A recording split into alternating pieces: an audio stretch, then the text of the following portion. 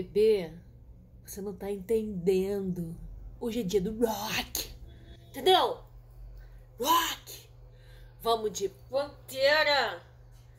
Broken.